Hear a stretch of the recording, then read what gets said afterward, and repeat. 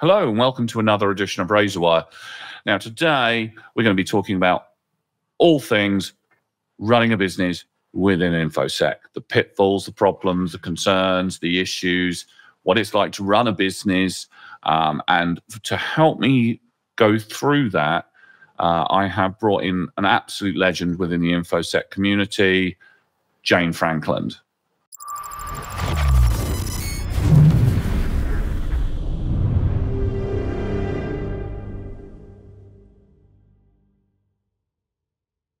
And today, to discuss the wonders and horrors of running a cybersecurity business, who else could I have but Jane Frankland come and have a chat with me about this? She's built businesses, she's sold businesses, she's got involved in all kinds of facets of life in the cybersecurity world. And the thing that really sparked this off for me was a fantastic post she did at the end of April on outlining some of the fun and some of the some of the stuff that you need to know about running a business. So, Jane, hello. Hello. Please feel free to, to to introduce yourself to the people out there. My gosh, uh, yeah. Look, I'm an entrepreneur. I mean, I've got two ways to introduce myself. You know, one one is like I write and speak about things that interest me. You know, which which are mostly cybersecurity, tech, and dogs, the planet, the environment, sustainability, and things like that. Um, or the other the other way is kind of like I'm I've been in cybersecurity for over 26 years. I started in cyber by building my own pen testing company back in the 1990s.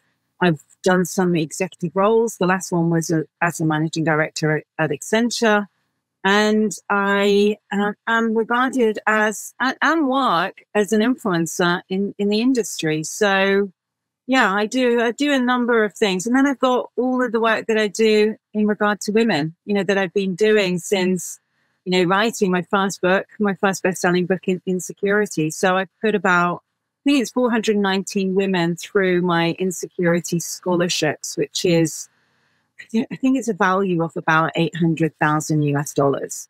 So I'm, mm. I'm pretty, pretty proud of the, you know, the life changing experiences that those scholarships have, have resulted in.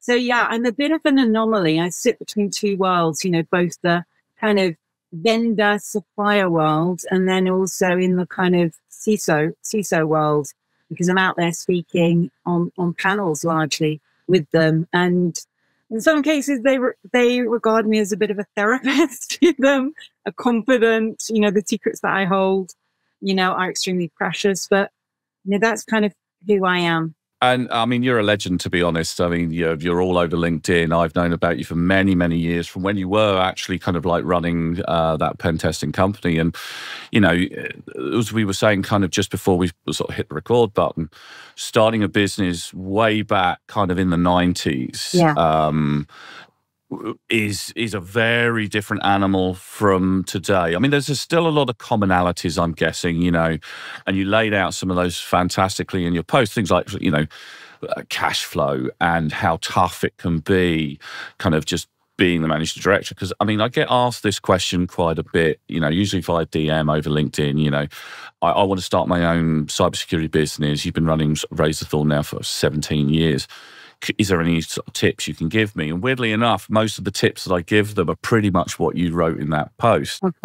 And I say to all of them, you know, don't think being the managing director or the CEO, or whatever leader term you're going to put in is easy. If you think you're going to sit in an office and just delegate out loads and loads of tasks all day long, thinking, brilliant, I can sit back and read a book, uh, look out the window, um, and chill out. You do get those moments, very few and far between, but it's also a lot of extra hours you put in. And, you know, something suddenly kicks off, and in the middle of the night, you get a call, or a client suddenly goes under owing you a load of money, um, you know, that you're never going to get paid. I mean, what was it like in the 90s? Because that was the, the, the dot com boom and bust. And I'm guessing you experienced yeah. Yeah. all of that stuff all at the same time, especially during that bust moment. yeah, I mean, to begin with, it was, I remember my business partner saying to me, you know what you're getting yourself into, don't you? And look, I was in my 20s, so was he. And I was like nodding, going, yeah, Yeah, absolutely. I, I, I know, fully aware. it's like no one can prepare you at all. And I mean, security then was really new. So it hmm. was, mm. it, it was in some ways, I think, easier. In some ways, easier because, because it was emerging and there were fewer companies to compete with. So what, what we did, you know, I, I recognized very early that the key to doing uh, doing well and being successful was niching down. So literally mm. after about, I think it was after about five years of of still leading with information security, as we called it then, or IT security, um, but also selling high, avail- high availability servers and, and networking kit and doing all of that, the software and the implementation and so on. We, we niched down and went pure pen testing. And mm. one of the and we were one of the very few. I mean, literally, there were probably about half a dozen pen testers, you know, at that time. You know, so it was it was easy to become very well known, and and and that and, and it was good to specialize, you know, because it just made the job easier, and also to kind of go after buyers who really understood the value between the suppliers. You know, so for for us as a pen testing company, we you know, we only kind of targeted um, buyers who who were kind of operating with huge risk. You know, so it was banks, it was retailers, it was gambling companies, it was insurers, and um, so top top companies like that. So I think it was a lot easier. But you know, some of the things that we got caught out by was in those days was definitely like cash cash flow. You know, so during the, when the dot com boom bubble hit and that the effects of that kind of went on for a few years, you know, some of our clients were taken out overnight, which meant that yeah. had an effect on us. You know, so we were left without, you know, without funds because they, they mm. under, which affected us. So it was just the kind of like domino effect of, of, of that business. And irrespective of the dot com boom bubble, what goes on today. You know, clients can go under, clients can pay late, clients, and we were talking about this before, typically the larger clients will have lengthy uh, terms, you know, commercial terms, payment terms. So you are literally flying by the seats of your pants, you know, and navigating, navigating your company, you know, at the helm, um, which is very, very stressful very stressful. And yes, it is exciting and it is fun, but it's also really stressful and, and it's highly, it's highly pressurized, you know, because you've got people to pay, you've got all of the, um, all of the trials and tribulations of managing staff, you know, meeting their needs, dealing with their squabbles, you know, people leaving, people joining, all of, all of that stuff. It's, it's really, it's, it's fun, but it's also really unpleasant at times. Absolutely. I mean, in the early days, you have very few clients and you're worrying about whether or not you've got yeah. enough to keep things running. And then later on, once you develop a good, good batch of clients, um, you're worried about whether or not you can facilitate all of the work. You know, growth, for instance, is a, and, and growing the company is you know, you would imagine it to be kind of like a solid kind of curve that goes up as you kind of build up the business, but it's not quite like that. You know, one minute you'll you'll be pootling along and you think, ah, oh, you know, I need to get a couple more pen testers, maybe one or two more pen testers. And then the sales director will come wandering over to you and say, Hi, I've just won this massive, like, you yes. know, 500 prepaid day pen testing deal. And you're like, oh, great, that's fantastic. How the hell are we going to deal with yeah. that right now? I better go out and get those pen testers. And then the recruitment agents come running down. Oh, my fuck. This is why I keep my phone on silent a lot. There's constant flows of people trying to call me and trying to sell me people people trying to sell me databases, people trying to sell me insurance. Um, and it can and, and, the learning curve as you say when you're running a business you get into it and you think oh this will be fun I, I, know that there'll be some challenges holy shit i mean it's like walk it's like climbing up a vertical cliff in the first two three yeah. years um, and and that's assuming HMRC don't. You know, if you're looking at this from from obviously the states, it's the IRS for you guys. Assuming that no mistakes are made at that level, which happens alarmingly regularly. well, this is it. Or you've got an accountant who's not doing their job properly, you know, yeah. and then they've left you, you know, in in in the crap, haven't they? You know, I mean, I, absolutely. Before, you know, and you, you're picking up the pieces. You know, you think someone's doing a, a job, and then you start to kind of question. It's just like, well, actually, I'm not kind of like I'm not buying that, or you know, your your um the auditing company like contacts you and raises, you know, a, a kind of question and it, and it, it, um, well, asks the question and it raises alarm bells. Absolutely, yeah. You know, and it's it's it, it is it is a crazy kind of setup to have. I mean, the politics as well are, with, with involved with recruiting people. Yes, and I mean, we have a wonderful team here, but like any group of people who work together, like a family, and you know, you go through the good times, you go through the bad times, you go through the breakups, you go through sort yeah. of like, you know, the wins and the weddings and the babies being born and, you know, the all kinds of facets of life. And and you do have to dance the politics dance. I mean, I started Razorthorn and I said, right, I'm not doing politics. I'm not doing politics internally. Like a naive idiot. Um, and it was all fine when it was just me and like one or two other people. Um, but the moment you got to 10, suddenly yeah. somebody dislikes somebody else. Both are good workers, both are good employees. And you're trying desperately to hold them away from one another in case something kicks off. And then inevitably, you know, you, you get, if you get enough conflict, one of them will leave. And you're like, well, I don't want any of you to leave. You're really good at what you do. So true. So true. You know, I mean, in the 90s, you know, at the sort of beginning of this kind of internet boom, um, you know, what was the kind of key thing? Because you must have had a real problem recruiting pen testers back then. I mean, nowadays it still can be tough. You can find a lot of not so good ones. But you operated at a time when pen testing was a new thing. You know, it wasn't exactly, yeah. you couldn't just go to a recruitment agent and say, Can I have a pen tester? They'd probably think you were talking dirty. Um, you know, what's a pen tester? What are they meant to do? You know, I get that in the pub sometimes with people who are not in infosec. Um, but what was it like, kind of trying to get that those staff back then? Um, it was easy. It was easy because really, yeah, yeah, it was easy because I mean, one my company was really, it, we were elite. We were one of the best in the world and we were very well known and we gave our, we were very forward thinking. So we gave our consultants, we gave them research time when no other company was giving research time. 25% of their time was research time. No other consulting company did that at the time. And we also allowed consultants to work wherever they wanted to in the world. Now, no other company was doing that. We were the first to do both, both of those things. And um, and what happens is they've got friends. So this group of people, you need you need one, and then they know another, and they might be working somewhere else, but they're unhappy because their environment isn't fun. You know, then they might not be being paid the market rate.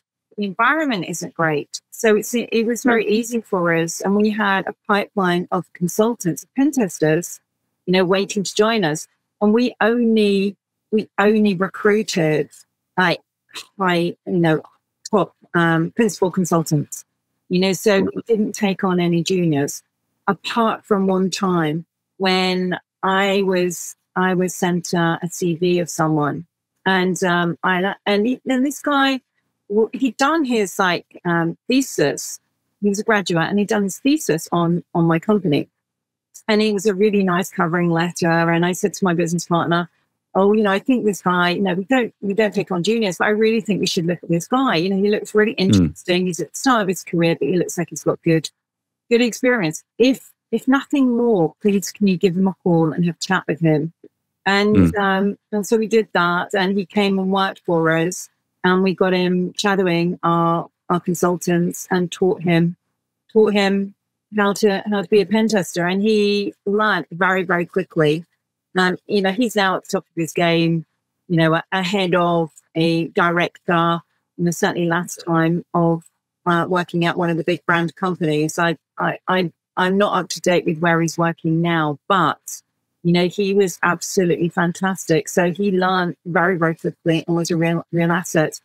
But yeah, it wasn't, it wasn't a problem for us because, because of the environment, because we had, you know, a group of consultants who knew other consultants just like them who were unhappy working where they were. What about salespeople? Well, salespeople, and look, that's always that's always a tricky one, isn't it? I mean, the vast majority of salespeople are are crap. You know, they really are, and they literally move around from company to company, usually being crap and then earning more money. So um, it's very, it's really rare you get a performing salesperson.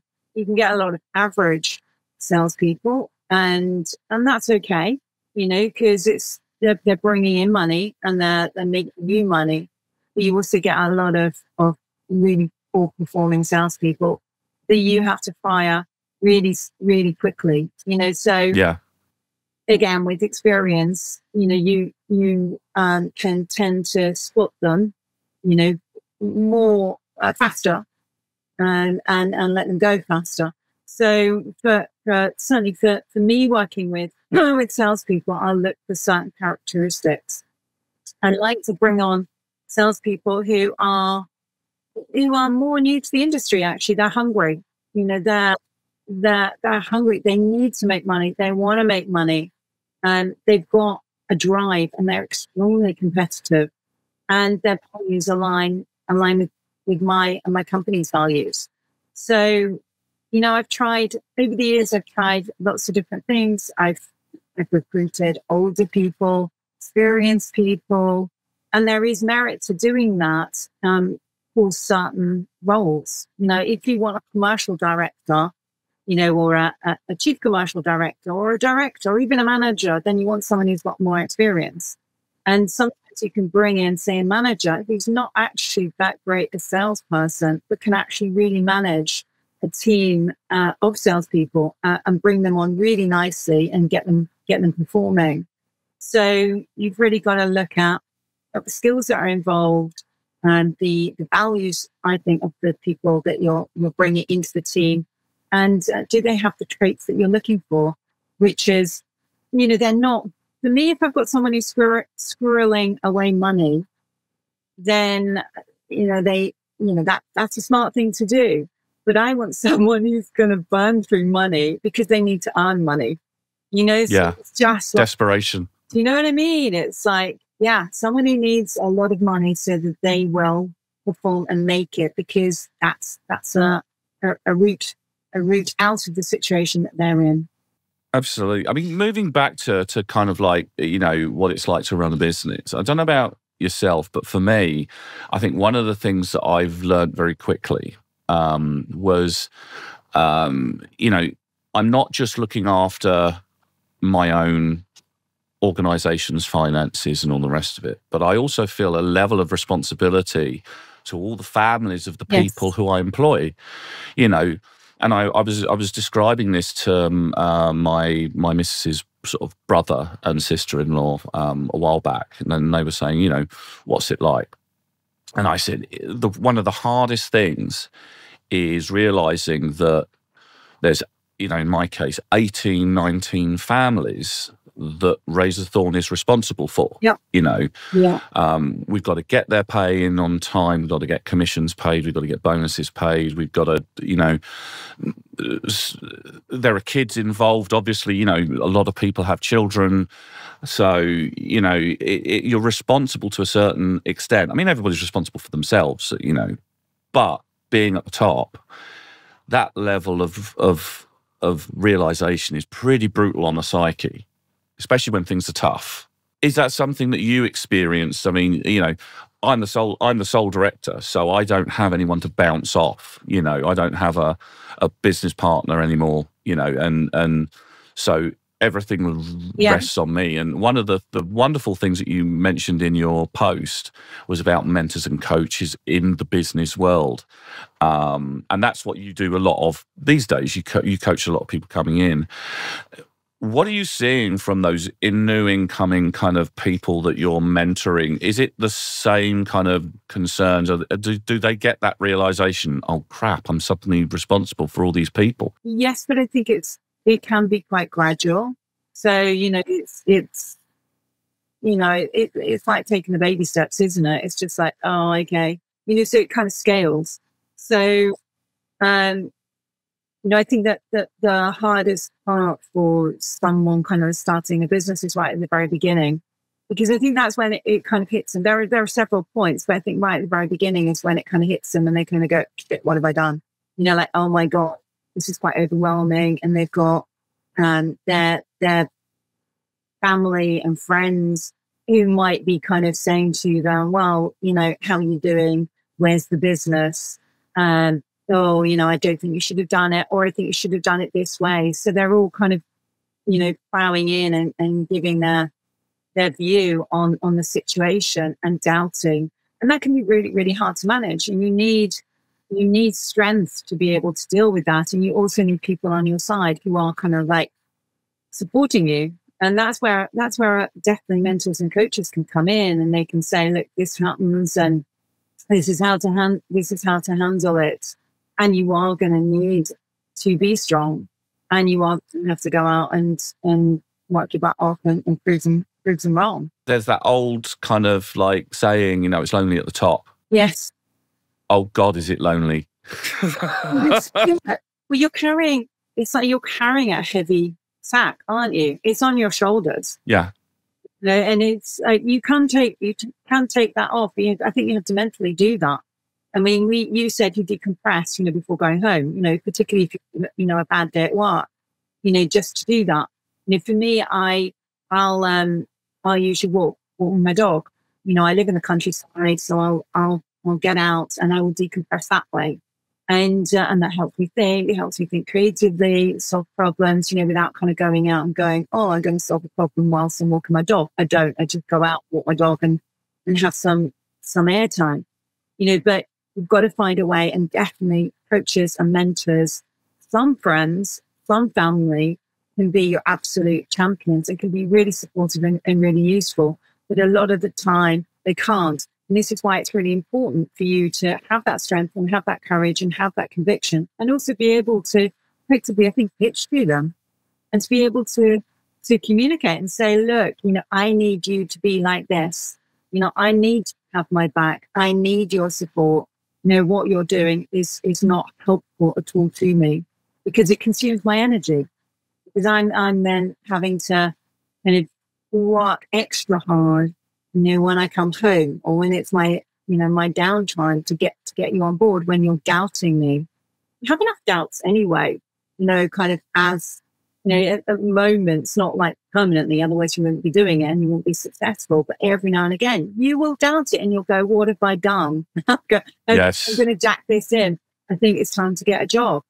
You know, so, so you have, you know, the, these little kind of demons or voices that you will hear every now and again. And sometimes, I don't know about you, Jim, but sometimes, you know, I'll have those times where I'll go, I'm done. That's it. Game over. Yeah. And like not doing this anymore. You know, I'm just going to do this and, and that's it. Absolutely. I mean, you know, point 14 on your on your post was the emotional roller coaster and it's absolutely right, you know, and you can have phenomenal highs and you can have phenomenal lows and it can happen instant. There's an instant yeah. switch. Yeah. You could be down. You could be down on your ass with your last five pounds in the bank account, and going, "Oh, what am I going to do?" You know, we've got all these people working. I've we've got fiver in the bank account. We're owed, you know, nearly a million quid, and people are, are being slow on paying. Um, and then all of a sudden, boom, you'll suddenly find three of the customers are paid. Everything's much better than, and you're like, oh my God, thank God, you know. I mean, when I, when I started Razorthorn, I had hair, and I was I, I wasn't grey anywhere near as grey as I am now. And I look at pictures of myself. Um, so, because I started Razorthorn back in sort of 2007, 2008, when, um, you know, the financial crisis had hit. And if you ever want to learn about that out there, watch The Big Short. Yes. Really good film, kind of goes through roughly what happened from a, a, lot of different perspectives. And I'd been made redundant from the newspaper that I was kind of heading the security for at the time. Um, and like all good Brits, I went straight down the pub after I'd been made redundant and had a pint by the river, by by the River Thames. Um, and I'm like, right, what am I going to do? And I thought, you know what, I'm going to start a consultancy and I'm going to do it better. I'm not going to do it because a lot of the consultancies I'd worked with them for, and if you're still out there watching this, any of my ex bosses, sorry, I'm going to say a few things. Um, yeah, but they were run predominantly by salespeople and accountants and yeah. kind of money people. So their focus was very much on money and the balance sheets and so on and so forth. Um, and I thought I would do it the other way around. I do it from a consulting perspective, you know, look after the customers and they'll come back. And it's worked really, really well for us. Um, but, you know, you kind of go into starting this business with this bright bright sun, you know, behind you in a field of green, and then you get your first HMRC bill, and you realise that there's a bull in there in that field with you, and you're about to get steamrolled by this damn thing, um, and then you know it keeps coming and it won't go away. Um, and yeah, it, it can you, you get phenomenal highs when things start working really well, and then you get phenomenal lows. And one of the things that I learned really early on um, and it sounds stupid, but you forget this when you're when you're in the uh, you know doing this is to have your plan and stick to it. Get your business plan sorted. At least a goal that you're heading towards. Um, it could be monetary. It could be from a size perspective. You know, but but follow that that that business plan that you have and beware of your first growth period because the first growth period when it's you know i'm not talking about when it's you know you get your first employee but when you say you got about five or six they'll reach a point where you'll need to expand and it won't be one person you need it'll be more like three or four um, and that's the risky bit and I was warned this by my own accountant. He was a he's retired now, but he was a wonderful accountant, and he'd been running his accounting business for many many years. You know, the grizzled old business person. Um, and he said, when you hit that, watch out you know, don't go too fast. If you go too fast, you'll kill your business in seconds because the moment you get those people on board and you see that wage bill pop up for the next month, um, you won't have had time to build up additional clients to be able to pay for that expansion. And he's right. And it gets harder as well. Every time we've expanded, it's it's a big risk, but you know, you go through a couple of months of pain and restabilizing, and then hopefully, if you've done it right, you're fine and you can move forward. Is that your experience as well, or is that just me? No, I, I, I would agree with that. I mean, it's just like when you're five, six people, it, it's like you're so small, particularly if you're working in an office. Um, it's like your family. You all have a great time. You know, it's fun. And then you start to kind of grow and new types of people come in and you know other people might feel that their noses have been like pushed out a little bit you know so you know it it, it can be really tricky tricky like that. I mean what i did with my business was um, when we started when we started to see like patterns of growth and acquire clients uh, we had an associate for or consultants or pen testers um, available. So we would ease that pain and ensure that we had that consistent growth by using associates. And then once yeah. once we kind of were sure of that, and it was more expensive, but it was less risky. You know, so then once we had that confirmation that yeah, that was quite stable, then we would look to take on, you know, a consultant. I don't think we ever took on numerous consultants at the same time, but maybe maybe we did.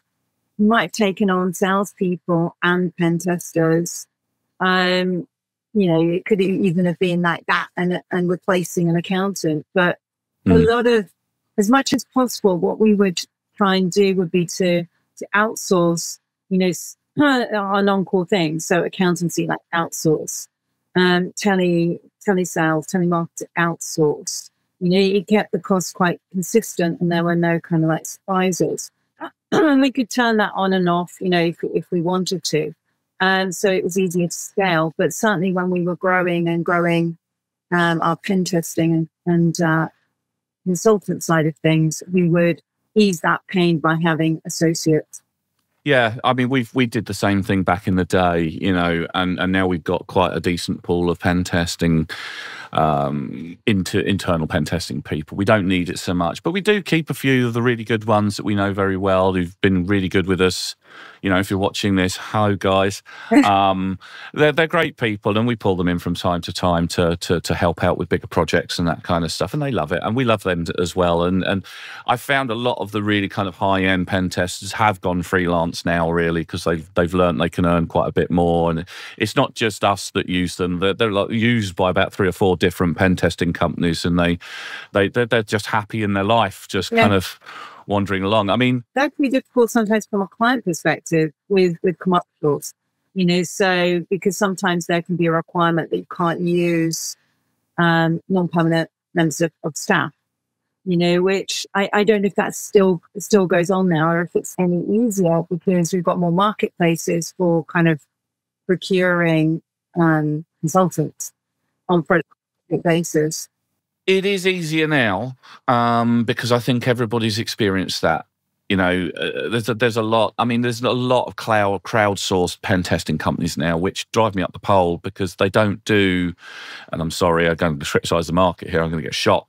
Um, they don't necessarily validate the credentials of the people that they're bringing on board. There's a lot from Eastern Europe. There's a lot from the Philippines and all the rest of it. And I'm sure they're really, really good people, but you know, a lot of our customers turn around and say, "Well, I don't want you know anybody from from that region like some of the other companies do," um, because you know there's no there's no guarantee that that they're not going to just find a vulnerability, not report it, and then sell it to some, an access broker or whatever on the dark web because they earn more money doing that. You know, yeah so it's, I think, you know, something you mentioned earlier on, the, the market is very saturated. But I Mhm. think definitely one of the things that I, I learned a really big lesson on early, early on is diversification of revenue streams.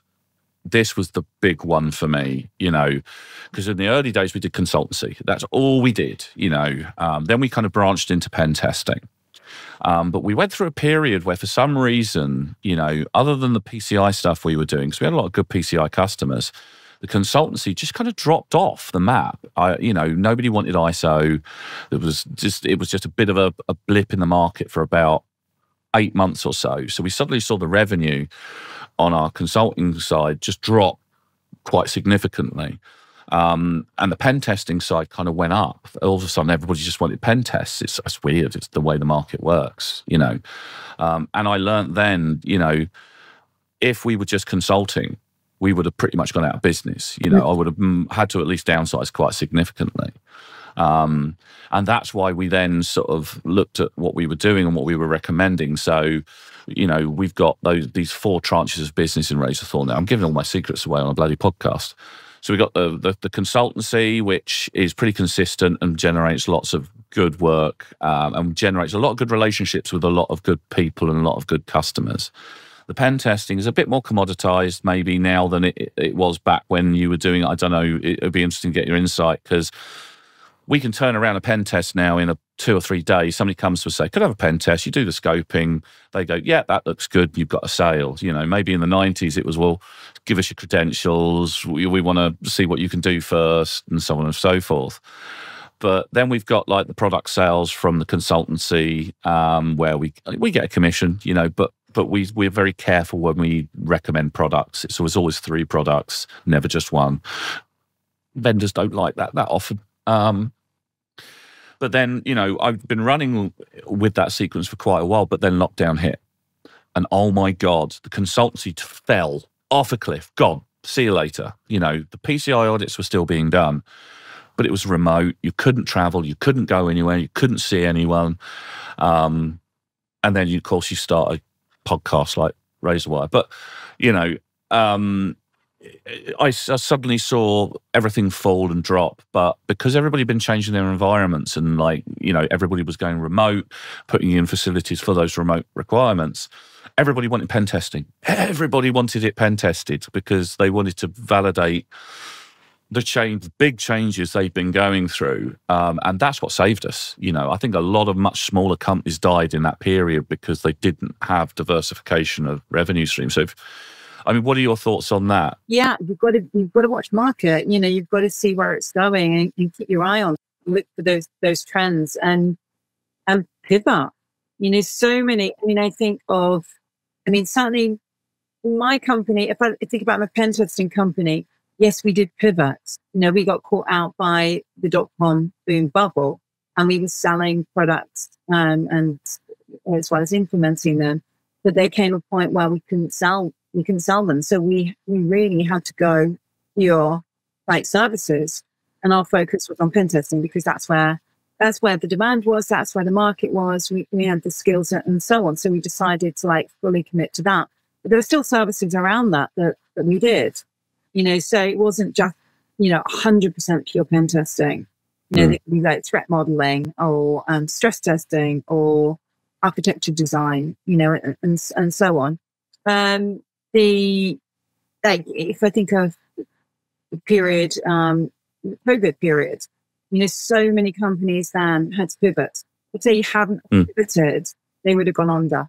So, they, you know, before, you know, a, a, few minutes ago, you were talking about, um, you know, cash flow and like your, your, your bank account being low you know, and it's just like, holy shit, we've got, we've got staff to pay. And then we've got a wages bill that is this amount and it's, it's due. It needs to go out. There are families to feed and, and so on. Mm. You know, so during that COVID period, you know, I spoke to many successful entrepreneurs who had successful businesses um, and helped them to pivot so that they could continue, you know, with, with their business. And thankfully they are, they have continued and they're doing really, really well.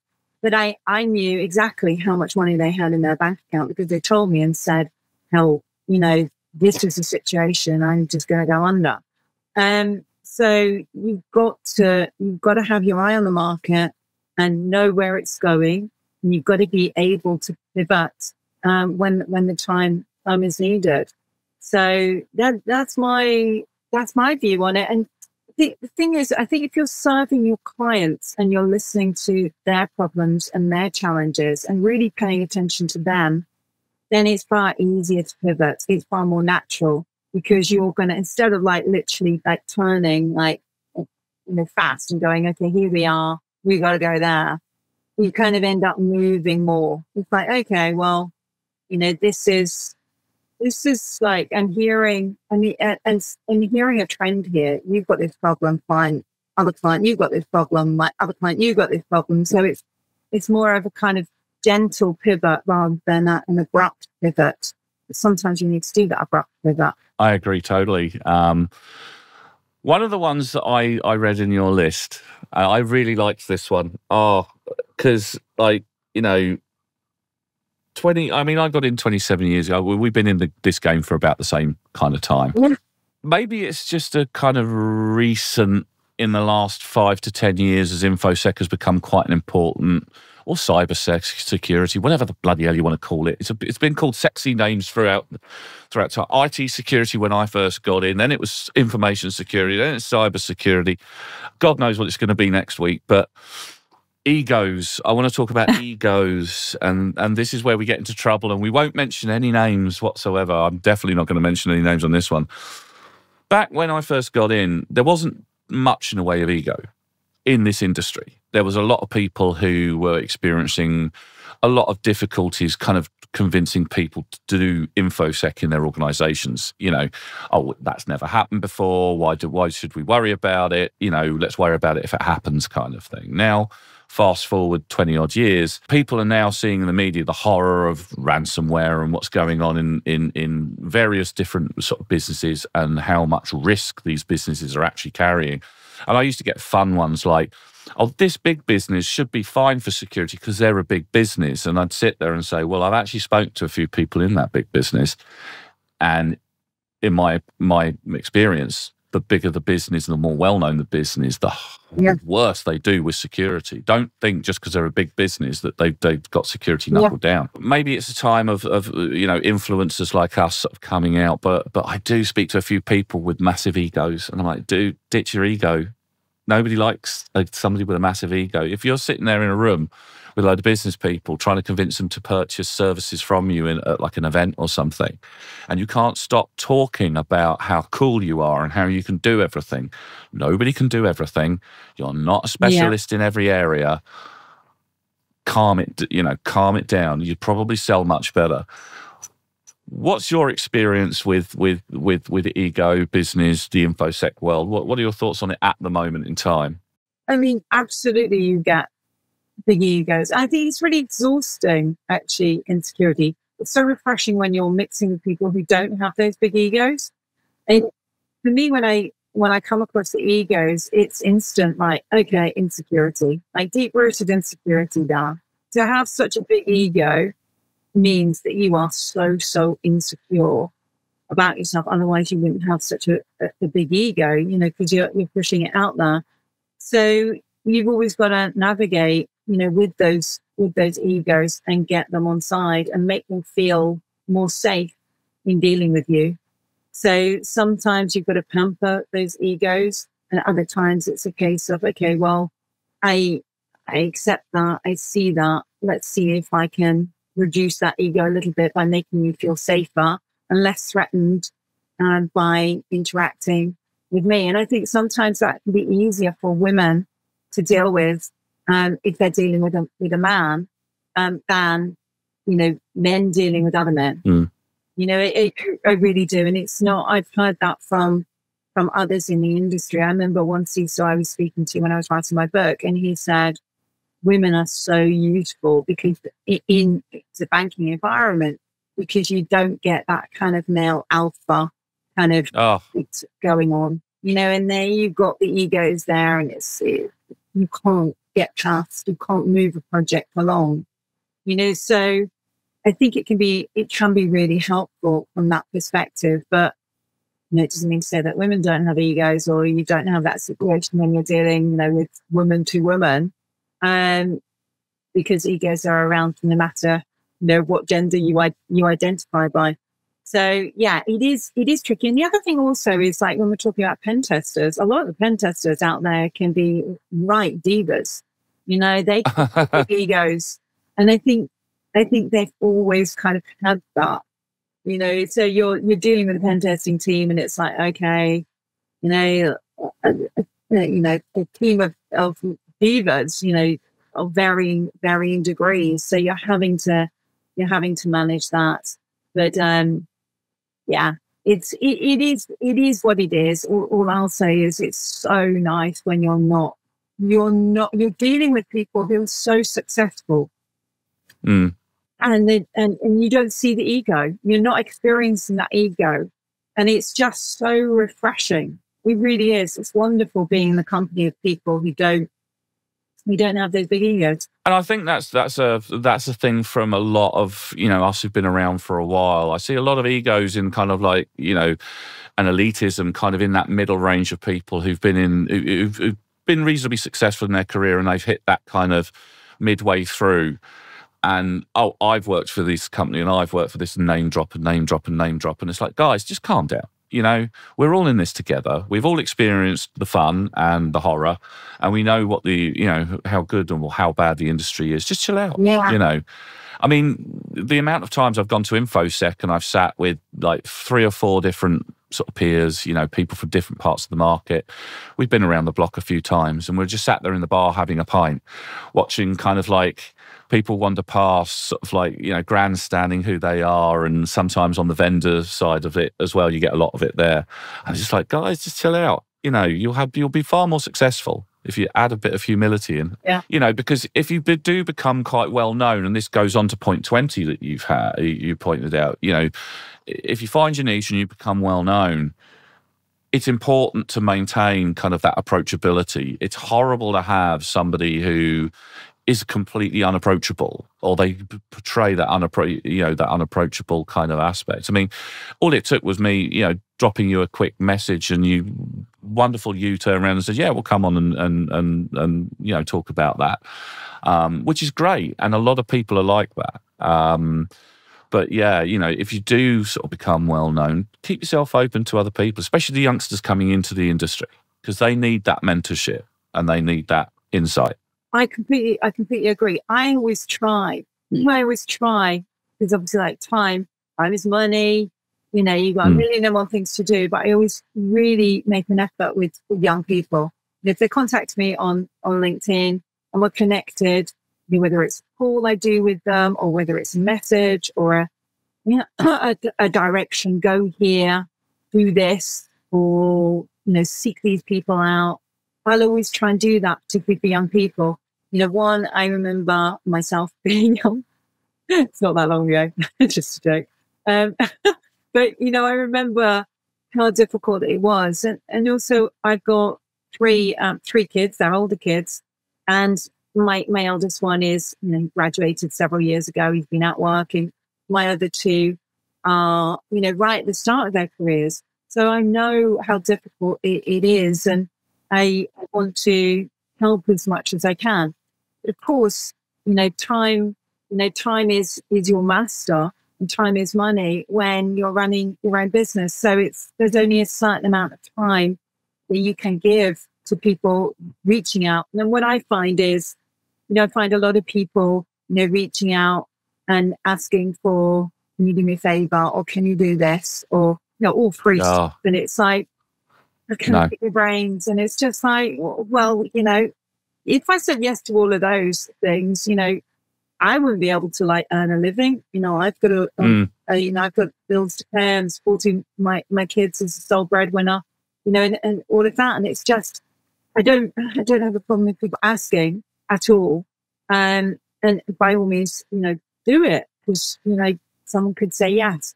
But equally, it's just like, I can't say yes to everything. There's a finite, finite amount, you know, I, I can do. So, well, that's where podcasts are helpful. That's where books are helpful. You know, when you can actually get to more people and, you know, with, with the one asset effectively. And rather than like a hundred kids coming to you and saying, what advice would you give? You know, and, and the other thing I also think is when you've got young people coming to you um, and asking for advice, it, it's like, where have you been beforehand? Have you looked at my website? Have you yeah. read my book? You know, there's an awful lot of information rather than just coming straight off and, and asking. Do a little bit of work beforehand before going to, you know, someone who has got influence or clout or been around the block a few times in the in the industry, you know, before before approaching them you know, I get a lot of youngsters come to me, and I did like master classes and and help to load out and what have you over quite a long period of time. And they now moved on into really nice sort of infosec careers, and it's it's nice to see that. And I know full well that somewhere down the line, in sort of ten years' time, they'll crop back up and they'll be at the top of their game, and they'll be like, "Oh, you know, you helped me out, get you helped me get in, you answered my questions." Yeah, I have more. You know, certainly when it comes to initiatives and, and charities, you know, I think it's when you're helping commercial companies out who are taking, you know, fees, you know, you know, tickets and things like that to events or whatever. I have more of a problem. It's like you're a commercial company who's doing yeah. well. You know, you're asking me to do this for free. I think that's a bit cheeky. Obviously, like you've got that opportunity to say yes or no, but when it's a charity or an initiative, it, it, it's different. I mean, the last last bit I will say on you know because time's moving on. I know you're a, busy person. Um, I was reading on LinkedIn from one particular um, pretty well known person in the industry. He's a lovely guy. Um, I want to get him on the channel. I will be reaching out to him. Um, and he was saying how he gets asked to speak, and he, he actually put up the the cost of going and what he you know, and he doesn't get paid for it, and they'll probably pay for his hotel room They'll probably pay for his flight, but obviously you've got meals, you've got all the other stuff that goes with with doing the travel and the time away from home. I mean, you've got kind of older children, I'm guessing at uni or kind of in uni, so it's easier to do now. But go back sort of like eight years or so, you know, eight or nine years when those children were at school and what have you you know, you, you can't do that. And you definitely can't do it for free, you know. And as you say, if it's a commercial concern, you're like, look, guys, you know, if you're a charity, I'd help you out, maybe, you know, to a certain extent. But uh, you know, if you're a multi-million pound company, why why do you think I'm going to come to talk at your event for nothing? Come on, you know, put your put your hands in your pocket. That's it, because you get a few drinks and you get a networking opportunity, and you can like elevate your personal brand. And it's like, well, you know, thanks very much, but no, thank you. Uh, you know, you do that efficiently and effectively anyway. I mean, you've got one of the biggest brands here. I mean, we're at the end now. Thanks for the insight into kind of like, you know, your views on what it's like running a business in the InfoSec and current. I mean, there's, there's so much we could talk about. Maybe we can revisit it. But I know you've got a couple of initiatives. Obviously, you're, you're an author yourself. You've got um, sort of books out there. Is there anything you want to kind of plug? You've got a new podcast yourself, haven't you? I have got podcasts but it's not it's not current at the moment. So I had a podcast for women in cybersecurity that I did, you know, uh, a few years ago. Um, at the moment, really, I'm focusing my efforts on um, influencer work. So I'm working with, with big brands. Um, the current one at the moment is Mastercard. Um, although I've worked with mm. lots of others, Palo Alto, BlackBerry, um, Cisco, Citrix, Microsoft, Intel, um, you know, and, and so on. So I do a lot of work really helping companies to elevate you know, their presence, their brand, get engagement, um, and so on. And the other thing that I'm really, um, really enjoy doing is coaching um, entrepreneurs to grow and scale their business. You know, that's, I have so much experience in that. And I really love helping companies to, to do better, you know, and yeah, I absolutely love doing that work and I'm, I'm, I'm pretty good at it. So, um, that's, you know, those two areas um, are, are places that I, I really like to focus my efforts. There you go. And where can we find you online if uh, somebody wants to kind of get mentorship from you on on running their business or yeah. taking their business to the next level? Where can they find you? So Jane jane-frankland.com. So that's my website. LinkedIn, it's it's Jane Frankland. Everywhere it's Jane Frankland. I've, I've kind of kept quite quite simple and and definitely do that. You know, even if you're looking to get into it, you're considering it. Um, Jane's a lovely lady who's got a lot of experience, and you know, the, it's it's always good to kind of.